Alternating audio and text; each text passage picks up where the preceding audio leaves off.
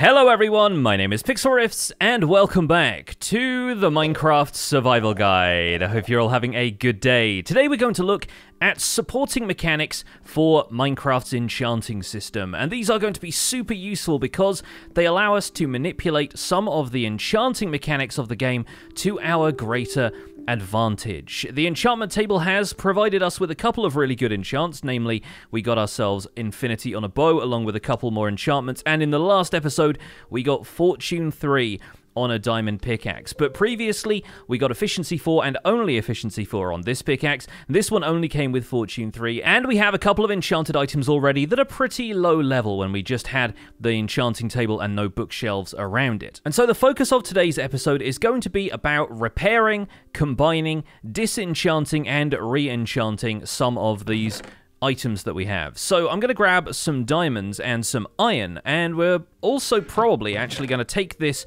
cobblestone that I got from our last caving trip. We're going to cook that in a furnace until it smelts down into natural stone, and we're going to use that for a little bit of crafting. We can grab some stone out of the furnace. We might only need one stone for this, actually, because while I was thinking about crafting three natural stone into six stone slabs, we can, of course, use the stone cutter for this as well. I'm going to drop some natural stone in there, and you'll see you can actually craft all sorts of stone brick variants with this, but we can get two stone slabs from just the one block of stone. And now, as you can see in the top right, the recipe has unlocked for a workstation called a grindstone. We'll need sticks, planks, and a stone slab for that in this formation. And since this is a newer one, I don't always remember the recipe for it, so I'm very happy the recipe book exists. But two planks, two sticks, and a slab in the center will get you a grindstone.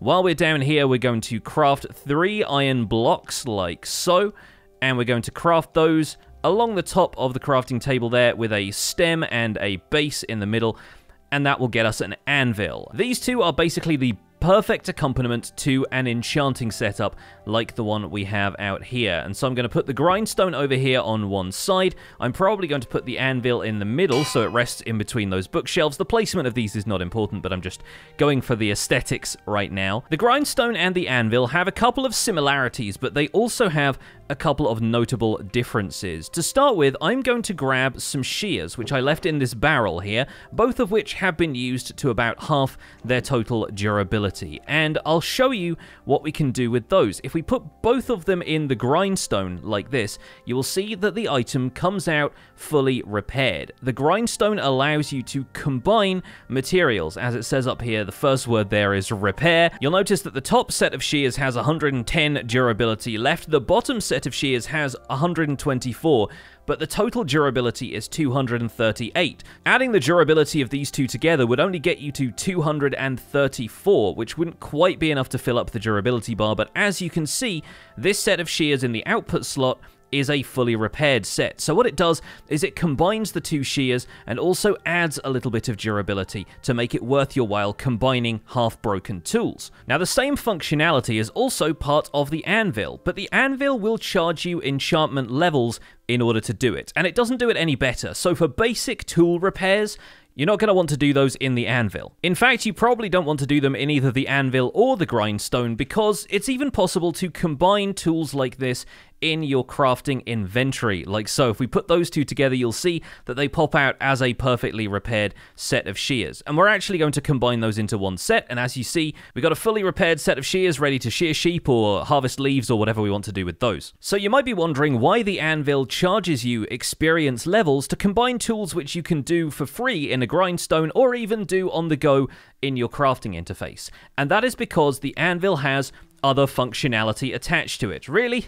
Am I going to have to explain this in the rain? I think we're going to need to whip up a quick roof for our enchanting setup just so we don't end up getting disturbed by the rain every time I want to do this. Let's use the stone cutter to turn some of the cobbled deep slate we've acquired into deep slate tile slabs. We'll put fences up around the outside. We'll make a couple of slab arches going over the top. I guarantee it's going to stop raining right as I finish this. We'll throw some oak slabs in the middle, maybe a ridge of birch along the center, and it's getting dark so we can can already sleep the rain away. but hey, at least now it's getting dark, I can show you that the enchantment table emits a little bit of light, which should block mob spawns in a radius around it.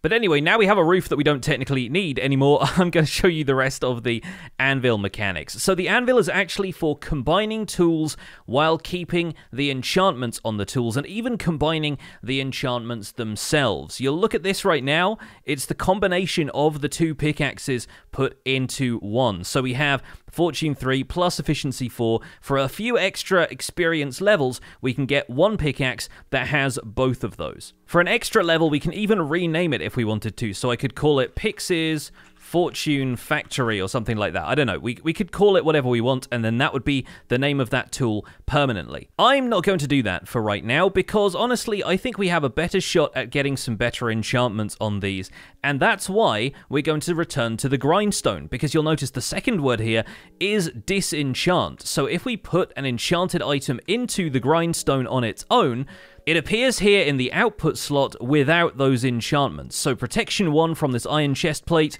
gone in an instant. And not only that, we noticed a bit of XP came out of the grindstone. Depending on how many enchantments there are and the overall value of those enchantments, you can actually get a decent amount of experience back by disenchanting something here in the grindstone. So if I wanted to, with my efficiency 4 diamond pickaxe, I could remove the enchantments from it, re-enchant it in the enchantment table, and maybe I would get something a little bit different. Let's throw the Iron Axe in there.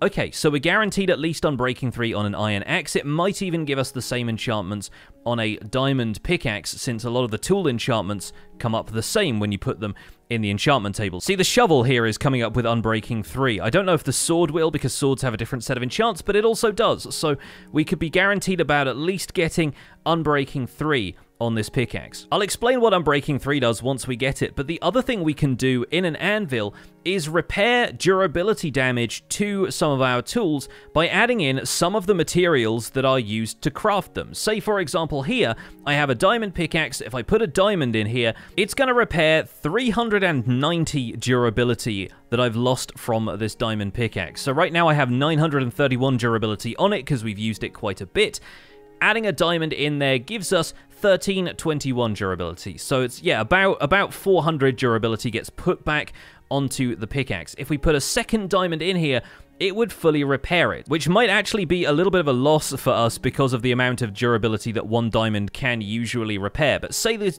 say this thing was worn down to about halfway, you could get it basically all the way to fully repaired again if you put two diamonds into it. But if the durability on this diamond pickaxe was worn down to a stub, if it had 100 durability or less on here, three diamonds would not be enough to get it fully repaired, and so at that point you're probably better off making a brand new diamond pickaxe, combining the two and keeping the enchants, or even enchanting a new diamond pickaxe just to see what you get. For our next example of what the anvil can do, we come down here to the enchanted books chest that we made, and let's grab this Luck of the Sea book. We'll also get a couple of string out of here, craft some sticks from the wood that we've got lying around, which is Actually, not much, but I think we've got enough there with a birch and an oak plank. We're going to place those diagonally in the crafting table and two string off the side gets us a fishing rod. And we'll do a whole episode about fishing because the results from fishing can be pretty spectacular. But importantly, it allows us to use this enchanted book because the book by itself is not going to have any effect. A sharpness book does not do more damage to monsters. But if you combine an enchantable item with an enchantment that it is compatible with, like Luck of the Sea here it applies exclusively to fishing rods, you can enchant that item in an anvil just using a book, bypassing the enchantment table altogether. Now, if I were to put this fishing rods directly into the enchantment table, I'm guaranteed to get a couple of enchantments that definitely aren't on this book, and this book does have a fairly low level enchantment on it. It's only Luck of the Sea 1, where potentially the table is going to give me slightly higher level enchantments, but at the cost of needing to get 30 levels and then spending more levels on it. So if we had some decent books, it might be worth returning to the anvil and applying them to this fishing rod. Another thing to consider is the enchantment cost changes depending on what you are combining, and you will often find that combining different tools leads to different results, even if you're combining the same tools but in a different order. For example, Fortune 3 is a very valuable enchantment and it's weighted quite highly in terms of the overall enchantment cost. So to put Fortune 3 on an Efficiency 4 pickaxe costs us 14 levels. By comparison, efficiency is quite common. So if we put them this way round, we're only applying efficiency 4 to a fortune 3 pickaxe, and that becomes a little bit cheaper because efficiency is a more common enchantment and you're adding it to something which already has fortune instead of adding fortune to something which has efficiency. Sometimes the maths there balances out and it turns out the same price no matter which way around you put the items, but occasionally it is worth swapping them around in the repair interface just in case one of the options is a little bit cheaper. Now we've gone over the theory though, let's take a look at what we actually want to do here. Fortune 3 is a pretty valuable enchantment to me, and I think I want to go for Unbreaking on a diamond pickaxe, because potentially, if we combine that with the Fortune pickaxe, it's going to last a little bit longer. And Efficiency 4, while it's useful, is potentially going to come up in the enchantment table anytime we enchant a pickaxe. So I'm going to use the grindstone to remove the efficiency enchantment, and as you saw, I got a lot more XP back from that than I did from just disenchanting Protection 1 from my iron chest plate. Now we're going to return to the enchantment table, drop the diamond pickaxe in there, and yes, it is giving us Unbreaking 3. So all I need to do is go and round up a little bit more experience, and we'll have a diamond pickaxe with an Unbreaking enchantment on it, which I think will be very valuable if we can get hold of it. We can also take a look at what the Enchanted Book will give us, which is Sweeping Edge Protection and Lure 2. Right now, I think the Diamond Pickaxe is going to be the best way forward. Something I didn't cover in our introduction to enchanting, because honestly it takes a lot of explaining,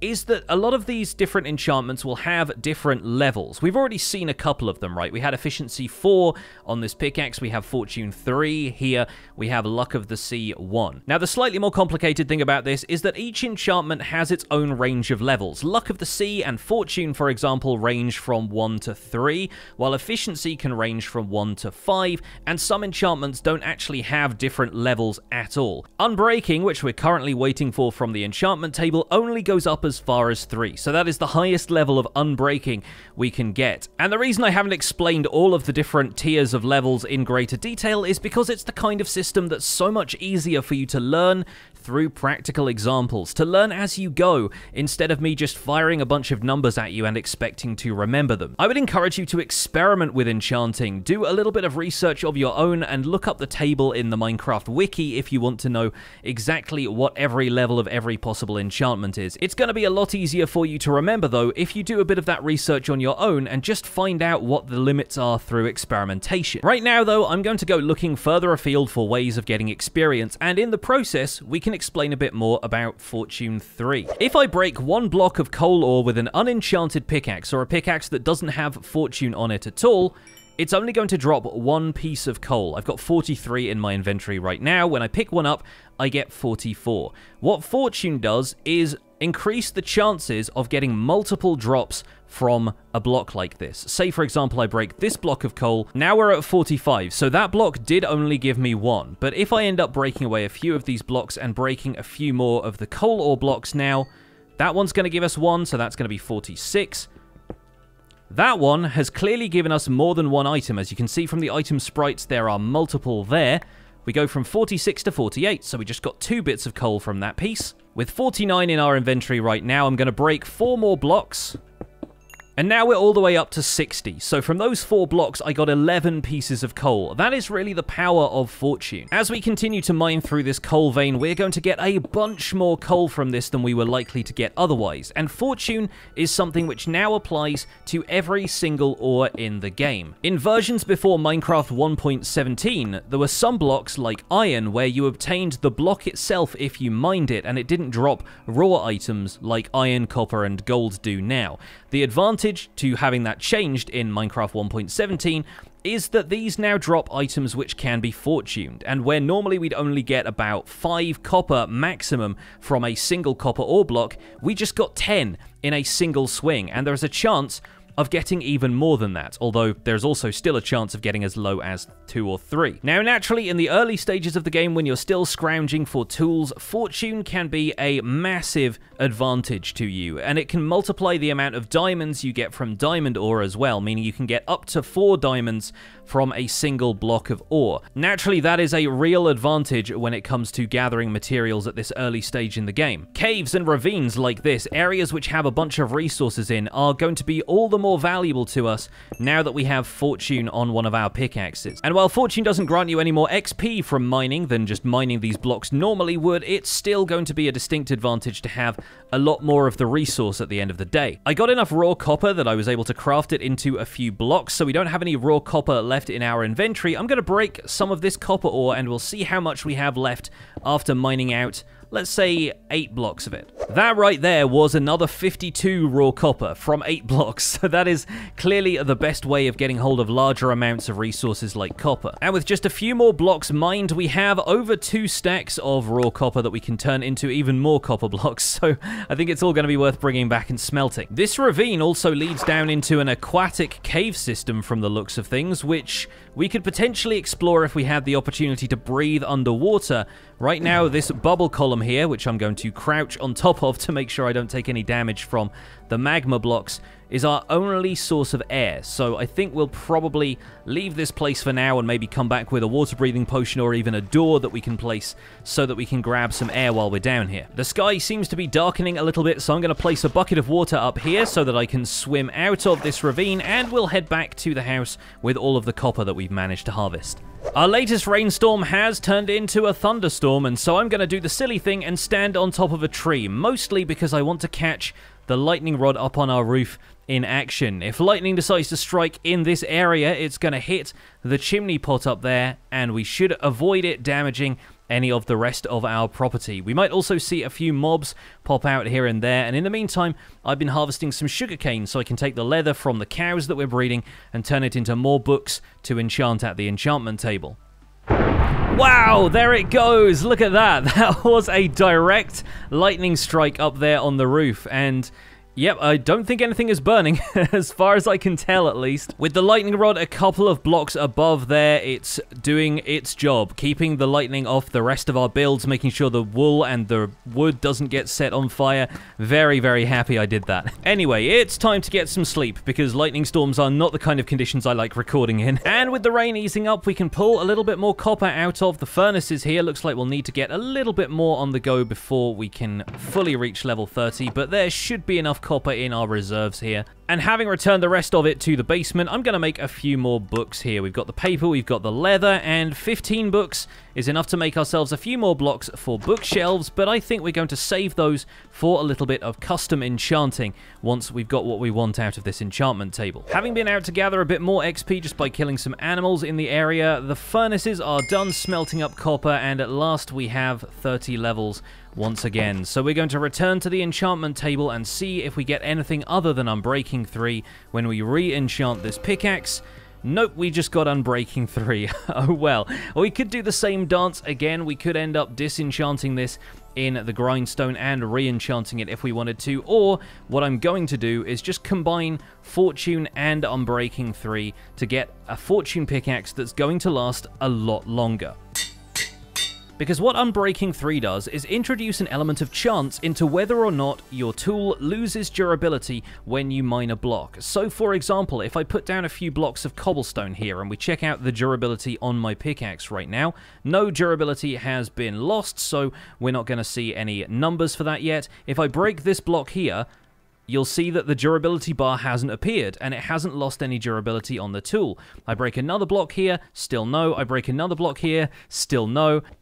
If I break a few more blocks, the durability bar only appears once I've mined 8 blocks total, and we've only lost 1 point of durability. Now, like Fortune, that is based on an element of chance, so it is still possible for us to lose durability every block we hit, but it's not as likely anymore. And in fact, the protection provided by Unbreaking 3 means that this pickaxe will probably last about 4 times as long as it would otherwise. So while the durability on the tool is still about 1,500 we can expect this pickaxe to last for roughly 6,000 blocks worth of mining, which is a lot better than it was. There are still some upgrades we can make to this pickaxe, including adding efficiency to it, and goodness knows I would like efficiency because it feels a little bit slow breaking blocks now we've gone back to a pickaxe which doesn't have efficiency. But rather than combine the pickaxe with another diamond pickaxe, which we have the diamonds to do, we could also look at enchanting some books and seeing if an efficiency enchantment comes up at any point in the table. It doesn't look like we're going to get that right now. We have a power 4 enchantment here, which could go on a bow. We already have power 3, so that's not a huge upgrade. And if we want to, we could put this book into the enchantment table, enchant it with a low level thing that's only going to cost us one level, like protection 1. Then we can check what comes up on the next enchanted book. It's giving us feather falling, sharpness, loyalty. We don't really need any of those right now. We can disenchant the Protection 1 enchantment from that book. We can put a book back in here, enchant it with the most basic level enchantment again, pop a book back into the interface. Now we're getting Knockback, Smite, Bane of Arthropods. And so in theory, if we want to get a specific enchantment on a book so we can just add it to the pickaxe instead of wasting more diamonds on combining two pickaxes, all we would need to do is enchant a few more books until it came up with something we were looking for. Now it's giving us a low level efficiency enchantment, protection 1, and then feather falling 4, which can potentially go on a set of boots to prevent us taking as much fall damage. There are a lot of different options, and in the meantime, we could be looking to get more useful enchantments on our sword, which is now showing up Unbreaking 3. The shovel is showing Fortune 2, which I'm going to avoid, but there are a few other enchantments that we could be getting on tools or armor in the meantime meantime. And thanks to the grindstone, if we disenchant those books, we're always going to get a bit of XP back. And it's not the amount that it cost us to enchant the book in the first place, but it's still going to be worthwhile. Now, once we've gathered a few more logs from this area and crafted ourselves a diamond axe, because it's one of the only tools left in my inventory which isn't made of diamond, we're probably going to do a little bit more caving, because now we have Fortune 3 on our side, we have the potential to get the most amount of diamonds possible out of any block of diamond ore now, so there's no need to hold back when we're going caving. We can explore to our heart's content, and as long as we survive, we can make sure we return with the maximum amount of loot that we're going to get from a caving run. And with our iron axe gone, there we go. We have full diamond tools, or close enough. We still don't have a diamond hoe, but we don't need to worry about hoes for a little while. Instead, with plenty of wood, coal, and food on us, let's make our way back across the sea to that giant cavern we were exploring off of the Lush Cave, and let's see if we can find ourselves some more diamonds. On my way back to the giant cavern, I realized we reached this Y intersection where I never went down the right-hand path, so I'm going to quickly hop down here to see if this leads down into the same cave system, gathering some of the resources that I spot as I go. And now from four blocks of iron, we have eight raw iron, so we're already multiplying all of this stuff, and that kind of points to what you can expect from the output of Fortune. Even though it is possible to, in some cases, quadruple the output of some of those ore blocks, chances are you'll maybe double the output from the ores you mine at most, because on average, you're still only going to be getting one or two from some of those blocks of iron when you could be getting a maximum of four. But it looks like we have stumbled upon something very special and something we will probably return to in a future episode. If you see granite and copper generating like this, where there are sections of granite with lots of copper ore dotted around in ones and twos, chances are you have found a huge vein of copper. I didn't know this was here. This is fantastic to find, actually, because seeing this is an indication of the fact that the copper generation is going to continue for a long way in a vein that we can follow for potentially hundreds of blocks and get tons and tons of copper out of it. And look at this. There's even a full block of raw copper generating in this place. Incredible. We have a bunch of copper around here. If we dig out some of the granite, we might find more copper ore. If we dig away the copper ore, we find more granite, and we can keep going into the earth with this vein and find tons and tons of copper. Copper is not exactly what we're here for right now. We're looking for a few more diamonds and things so we can continue getting geared up. But we will return to this spot for sure, because if we continue to follow this vein, who knows how much copper we'll end up with later. The cave also branches out from here into a couple of different directions, and I might just grab a couple of bits and pieces from here, but I'm not going to explore too far now I know that this huge copper vein is here, because I want to see how much copper we can get out of that thing if we mine out the entire vein. So we're going to do that in a future episode, probably when I've got an efficiency pickaxe, because that will make the mining stage a lot faster. Right now, though, I'm going to return to the cavern and keep looking around, and I'm going to try and keep my inventory as free of other blocks as possible. Of course, we want to keep our sword around. We're going to condense some of the ores down into blocks of ore as we go. We've got some wood that we can use to craft some more torches, but ideally, all our inventory wants to be is torches, tools, a couple of things for safety like a boat and a water bucket, some wood for torches, and then all of the raw materials that we're gathering, all of the precious stuff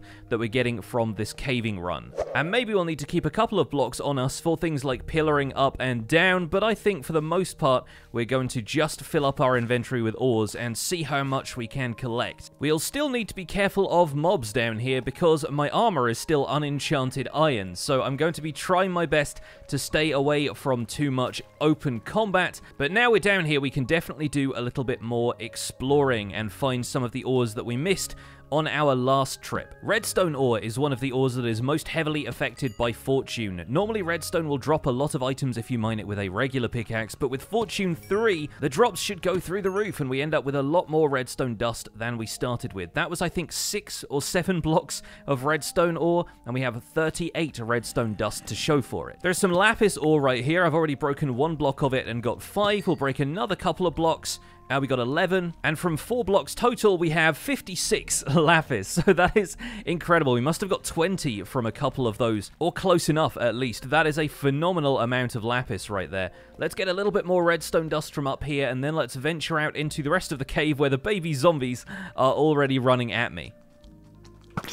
Unfortunately for them, I have a punch bow, which is a pretty effective weapon if you're good with your aim. And behind this redstone, we found some diamonds, so this is going to be our first chance to mine up some diamond ore with fortune. Let's open this out and see if there's a larger vein hiding behind it. Looks like it might just be a couple of blocks. We'll grab the redstone here first. And with two blocks of diamond ore, let's see how many diamonds we get out of it. It's looking like one, and then two, just two, okay. Alright, then that wasn't the best demonstration of what Fortune is capable of. Let's find some more diamonds. We're also encountering areas with a lot of deep slate iron generating, and Fortune is just as effective on deep slate ores as it is on stone ores, so wherever I see the iron, I'm going to gather that up as well. With the amount of mobs crawling out of the darkness, it looks like I'm going to get as much XP from fighting mobs as I am from mining. We'll need to watch our back for creeper attacks, but coming over this way into the lush cave might present a couple of interesting opportunities because the moss in these areas will not overgrow any of the ore blocks. So while there might be some under the moss carpet here and there, I think it's going to be a good idea to take a look at the walls around here, take a look at the floor, and see if there are any patches of ore that have been left uncovered by the world generation. Not to mention the biome is just beautiful. I mean, look at this. There's a couple of axolotls playing in the background. There are skeletons roaming in the darkness, but this whole area lit up with glow berries looks spectacular. My inventory is already starting to fill up with lots of redstone dust, so I'm going to turn some of those into to save a bit of space. We'll probably do the same with lapis as well. Throw out the rotten flesh and the spider eyes and stuff for now. I might keep the gunpowder just because it is occasionally useful, but yeah, keeping all of these ores and stuff straight in our inventory is going to be worthwhile. We got our first gold over here, so let's grab some of the raw gold. We have another geode, it looks like. We got some smooth basalt right here. I'm not certain if this is the geode that I've mined into before, and we've just come around to it from a different direction, I guess. Let's find out. No, this certainly isn't the same geode because it had some diamond ore in the wall over here, as I recall, so that's a really nice find. Right next to a lush cave and everything. Let's find a fully grown crystal, which look like that one up there and this one here, because, of course, Fortune will also affect things which aren't ore blocks, like, for example, these crystals here. They will drop potentially more amethyst shards. We got four from that one. Let's see if we get any more from this one in the center here.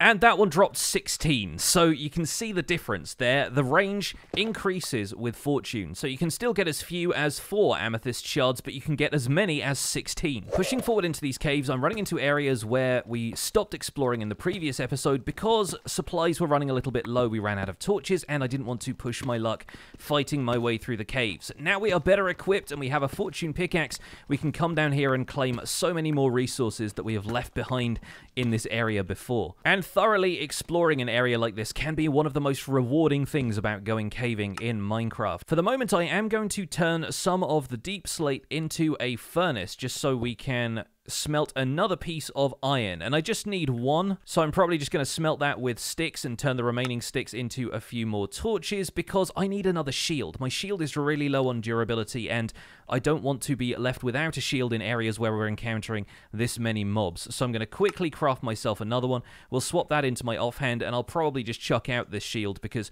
while we could repair it, it's sort of not worth doing that when shields are relatively cheap to craft. If iron is looking scarce, then you may want to consider combining them, but the rest of the time you shouldn't need to worry too much about that. Now, there's a couple of lava falls in this area and a couple of resources around them, like the redstone ore, that I want to make sure things are left a little bit safer. So we're going to use some blocks, very carefully come up here and cut off this lava closer to the source, meaning the rest of the lava will flow away. We'll probably block off the water here as well, and that will allow us to get the redstone ore without any undue fuss. And this looks like it may have been a good move, because this cave goes off into the distance, and I can see ores all over the walls here. In fact, there's a patch of tuff there and a little bit of spotty iron generation, so once again, I'm looking out for the potential for a huge iron vein down here. There's another geode right here. You can tell from the smooth basalt, it is cunningly concealed in the deep slate around it, but we can definitely crack into a few more geodes when we come back down here in future. There is plenty of gold in the walls and the ceilings around here too, so we're definitely taking advantage of the gold while it's here. And any narrow offshoots of cave generation are potentially going to be worth exploring for a chance of digging deeper and finding some diamond ore. Although in this case, I found some diamond ore by climbing this region like a staircase. Let's see if we can get a few more diamonds out of this than we did out of the last one. Is it just going to be one block of diamond ore? I have a feeling it is. Unfortunate, but hey, I'll take it. It's better than nothing. And this one looks like it's only dropped one diamond as well. the lesson I'm trying to teach here is that fortune can multiply your diamonds, but the lesson the game wants you to learn is that fortune is not a guarantee. Well, I'm exploring every nook and cranny I can find right now in order to get hold of some diamond ore, and it looks like we've stumbled upon another patch here, and this looks at least a little promising. We've got two diamond ore resting here in the ground. Looks like, once again, it might just be another two. Let's see if we can get more than one diamond out of each of these blocks. That one definitely dropped more than one. That one, it looks like, just dropped one, though. We've got three on us so far and that has now increased to eight. So that means we got one out of that block, but four out of the other block. Once again, the full range on display right there. And if we wanted to, we could turn these diamonds into any piece of diamond armor right now. We could use all eight of them on a diamond chest plate, which would really increase our armor. But I think we're going to start with a diamond helmet for now, because that's going to leave us with three diamonds free to make ourselves another diamond pickaxe. Because fortune is not the only enchantment we're looking for on a diamond pickaxe. We're hopefully going to get hold of Silk Touch at some point, and I'll explain more about Silk Touch when we get hold of it. But for now, at least the game has finally given me an example of how Fortune can help you get hold of a few more diamonds. The other incredible thing about this cave system is that it almost seems to go on forever. There are so many twists and turns and large areas that lead out to even bigger areas, and so I'm finding it really fun just wandering around this cave exploring. Of course, once you reach the point where you're running out of cave to explore, if that ever becomes a problem, you can do what we did in the previous episode we were down here, we can dig down to the lowest points of the world, kind of closer to the Y negative 53, 54, 55, 56, 57 or so. I think 58 is probably the lowest we can go before we start to encounter bedrock regularly. And we can start a branch mine here, simply by digging in a straight line and then branching off every couple of blocks or so to our left and our right, and chances are that we'll find even more resources concealed inside the walls, because the game does generate a certain amount of diamond ore which is not exposed to the open air inside of caves, which means that it can sometimes be found inside of flooded sections of caves, but more often than not is concealed behind the blocks of the terrain around you. And as I explained previously, the further down in the world you go, the higher the chance of encountering diamonds, and that is true of the blocks which are hidden down here inside the walls as well. So I'm going to dig around for a little while longer, and I'll bring you guys back in when we inevitably, hopefully, find that patch of diamonds. Well, that didn't take very long at all, did it? It looks like we've encountered a pretty sizable vein of diamonds here. If it's not eight, then it's at least pretty close. I'm thinking maybe five or six. Yeah, looks like it's a nice little tidy vein of five. Okay, so we've got three diamonds on us right now. Let's break each of these with fortune and see how many we have at the end of that. 14. Okay, so from five blocks there, we got 11 diamonds. That is, once again, about twice the amount of blocks we broke. So, yeah, you can on average expect to get two or slightly over two diamonds per block overall on average with Fortune 3. Well, it took a little bit longer to find the second patch than the first, but we've just stumbled on a vein of what looks to be another 5 diamond ores. So with 14 diamonds currently in our inventory, let's fortune the rest of these as well and see how many we end up with. This time, 22. Uh, 22 is the exact number I was looking for because that's enough for the remaining set of diamond armor and a diamond pickaxe or another